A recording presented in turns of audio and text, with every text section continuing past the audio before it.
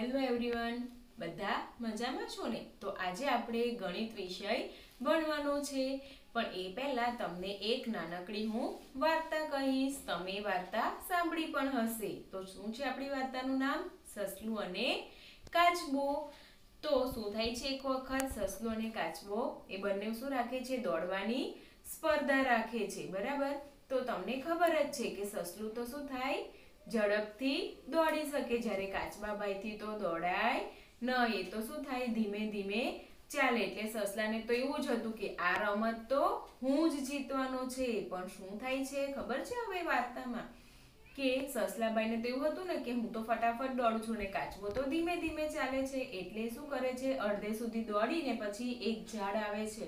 પછી શું કરે છે? ત્યાં સૂઈ જાય છે. ને તો એમ કે કાચબાભાઈ તો ધીમા ધીમા ખબર નહીં ક્યારે આવી રહેશે. ત્યાં સુધી હું શું કરું? થોડોક આરામ કરી લઉં. એટલે સસલાભાઈ તો શું કરે છે? ઝાડ નીચે મસ્ત ઘસઘસાટ ઊંઘી જાય છે. અને કાચબાભાઈ તો શું કરે છે? એને ચાલવાનું. એટલે તો એક સાથે ચાલવાનું ચાલુ જ રાખે છે. અને તો ચાલતા ચાલતા સસલા કરતા પણ આગળ જાય છે. અને જીતી પણ જાય છે.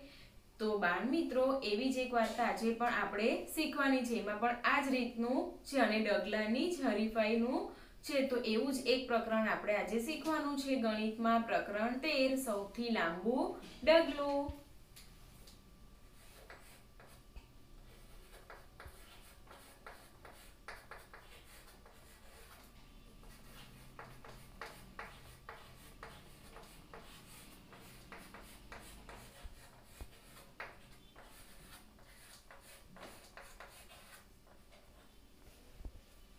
તો બાળ મિત્રો, તમે આમાં પણ જોયું છે ને, સસલા અને કાચબાના ડગલાની વાત કરેલી હતી, બરાબર? કોણ ઝડપથી પહોંચે? એવી જ એક હરીફાઈ જંગલના બીજા પ્રાણીઓ પણ કરે છે, તો તેની વાર્તા હવે આપણે જોઈશું.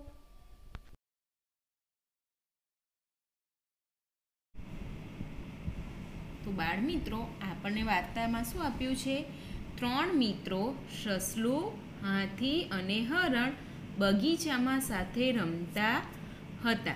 કોણ કોણ રમે છે બગીચામાં? ત્રણ મિત્રો. કોણ કોણ? સસલું, હાથી અને હરણ. એ લોકો બગીચામાં રમતા હતા. તો હવે ચાલો આપણે જોઈએ કે પથ્થરનો પુલ પહેલાં કોણ પસાર કરશે? તો એ લોકો શું રમત રમવાનું નક્કી કરે છે કે પથ્થરનો જે પુલ બનાવેલો હોય છે એ સૌથી પહેલું કોણ પસાર કરશે? એ રીતે રેસની સ્પર્ધા એ લોકો રાખે છે. તો હાથીભાઈ શું કહે છે? પરંતુ તમે બંને તો ઝડપી દોડો છો અને હું તો ધીમે ચાલું છું.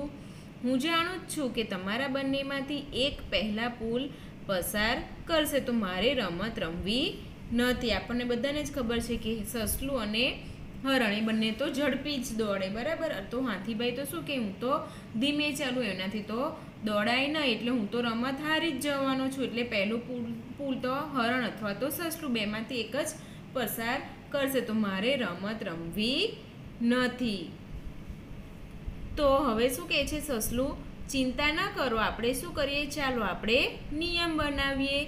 આપણે દોડીશું નહીં, તો આપણે શું કરીશું? ચાલીશું. તો સસલુભાઈ શું કહે છે? તમે ગભરાવ નહીં હાથીભાઈ આપણે શું કરીએ? દોડવાનું નથી નક્કી કરતા, પણ આપણે શું કરશું એમાં? ચાલવાનું નક્કી કરશું. તો સૌથી પહેલું કોણ પુલ પસાર કરશે એ આપણે જોઈશું હવે. તો સસલું કહે, હા, તેમાં મજા આવશે. તો હવે લોકો જુઓ. રેસ રમે છે. ચિત્રમાં તમને આપેલું જ છે. તો સૌથી આગળ કોણ દેખાય છે તમને? હાથી. પછી બીજા ક્રમ પર કોણ છે? હરણ. અને ત્રીજા ઉપર સસલું. તો મિત્રો, કોણ જીત્યું હશે રમત? બોલો જો એ ચિત્રમાં તમને કોણ પહેલું દેખાય છે? હાથી. અને સસલું પાછળ તો કોણ જીત્યું હશે? રમત હાથી. તો કેમ જીત્યો હશે હાથી? ખબર પડી મિત્રો તમને? જો જ્યારે લોકોએ ચાલવાનું નક્કી કરે છે, તો તમને ખબર જ છે કે હાથી મોટું છે અને એના પગ પણ કેવા હોય? મોટા જ્યારે હરણ અને સસલું બંને કેવા છે? નાના છે એટલે એ લોકોના પગ પણ કેવા હોય? નાના એટલે એ લોકો જ્યારે ચાલે ત્યારે એ લોકોના પગલાં કેવા થાય? નાના થાય જ્યારે હાથી મોટો મોટો છે, એના પગ પણ મોટા છે, એટલે એના પગલાં પણ કેવા થાય? મોટા થાય. એટલે રમતમાં કોણ જીતી જાય છે? હાથી. કેમ જીતી ગયો હાથી ખબર પડી ને? કારણ કે મોટો હોય છે એટલા માટે, બરાબર? તો અહીંયા આપણને જુઓ. તેમણે રમત શરૂ કરી તો આશ્ચર્યજનક રીતે છેલ્લે હાથી જીતી ગયો. મેં તમને અત્યારે કીધું ને, હાથી કઈ રીતે જીતી ગયો?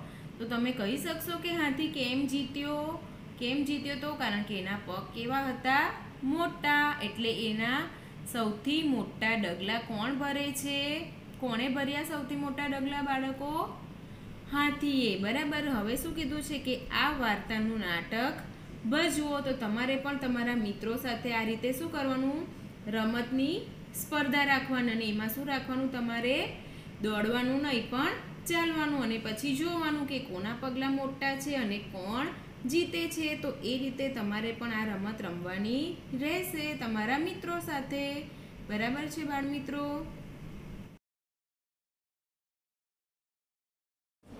તો બાળ મિત્રો, આપણે એક પ્રવૃત્તિ કરીશું. પગલાંની બરાબર એમાં કોના પગલાં મોટા છે અને કોના નાના એ જોવાનું છે. તો અહીંયા એક મેં ટેબલ લીધું છે ને ત્યાં ખુરશી. તો આ બંને વચ્ચેનું અંતર મારે માપવું છે. તો અમે બે જણ માપીશું એમાંથી કોના પગલાં વધારે થશે અને કોના ઓછા તે જોવાનું છે. તો પહેલા હું પગલાંનું અંતર માપીશ. બરાબર? ચાલો. અહીંથી હું સ્ટાર્ટ કરીશ. તો આ એક, બે, ત્રણ અને ચાર. તો મારા કેટલા થયા? બંને વચ્ચેના અંતરમાં પગલા ચાર. હવે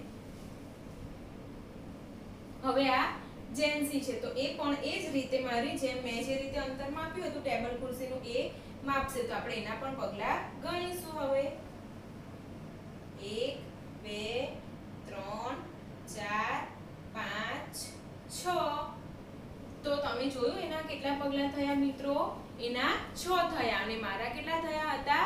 ચાર. બંને વચ્ચેનું અંતર તો સરખું જ હતું, પણ મારા કેમ ચાર થયા અને એના કેમ છ થયા? તો મિત્રો, તમને સમજ પડી જ ગઈ હશે કે હું મોટી છું એના કરતા, એટલે મારા પગલા પગ મોટા હોય, એટલે મારા પગલા પણ એટલા મોટા જ થયા અને એ નાની હતી, એટલે એના પગલા નાના થયા. બાકી બંને વચ્ચેનું અંતર તો સરખું જ હતું, પણ પગલામાં કેવું હોય, નાના હોય, તો એના પગલા પણ નાના થાય. બરાબર? એ રીતે આપણે જોયું. તો આ માપ જે હોય એ કેવું માપ કહેવાય, અંદાજિત માપન કરેલું કહેવાય. તો તમે પણ આ રીતે તમારા ઘરે પ્રવૃત્તિ કરી શકો છો ને કરવાની જ છે. તો હવે એમાં આપણે આગળ જોઈએ. તો બાળ મિત્રો, આપણે જે અત્યારે પ્રવૃત્તિ કરી હતી, એમાં પણ આ જ રીતનું કંઈ હતું. તો શું કીધું છે અહીંયા? કે હું અહીં બેસું છું. મારો મિત્ર કેટલે દૂર બેઠો છે તે હું શોધી કાઢીશ તો બે મિત્રો આવી રીતે દૂર બે ટેબલ ઉપર બેઠેલા છે. તો એ લોકો શું નક્કી કરે છે કે મારો મિત્ર મારા કરતાં કેટલા દૂર બેઠેલો છે તે હું શોધી કાઢીશ. તો એ લોકો શું કરે છે જુઓ અહીંયા. ત્રણ કે ચાર મિત્રોની ટુકડી બનાવો. તમારે પણ તમારા મિત્ર સાથે આ રીતે ત્રણ ચાર મિત્રોએ ભેગું થવાનું અને પછી શું કરવાનું? લીટી દોરીને કોનું ડગલું સૌથી મોટું છે તે નક્કી કરો. અત્યારે મેં તમને બતાવ્યું હતું, બરાબર ને, પ્રવૃત્તિમાં કે કોનું પગલું મોટું થાય અને કોનું નાનું અને ઓછું પણ કોનું થાય ને વધારે પણ કઈ રીતે થાય એ આપણે પ્રવૃત્તિમાં જોઈ જ લીધું છે. તો તમારે પણ તમારા મિત્ર સાથે આ રીતે બે ત્રણ મિત્રો ભેગા થવાનું અને આ રીતે રમવાનું અને પછી નક્કી કરવાનું કે કોનું પગલું મોટું છે. બરાબર? ચાલો, પછી શું કીધું છે આપણને?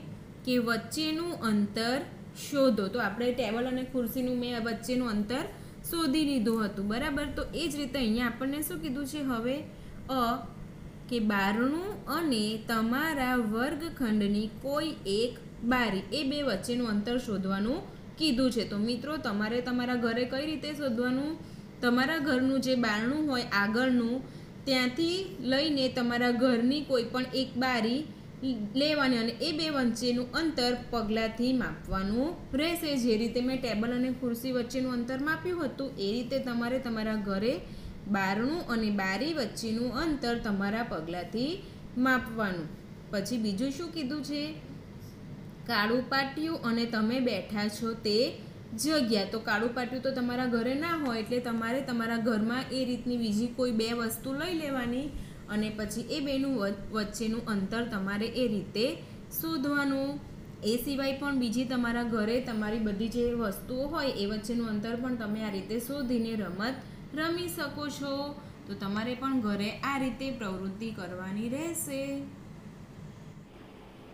તો બાળ મિત્રો, પગલાથી મજા આવીને અંતર માપવાની? તો તમે પણ ઘરે માપવાનું છે આ બરાબર? તો આપણે ફરી મળીશું. ત્યાં સુધી બાય બાય.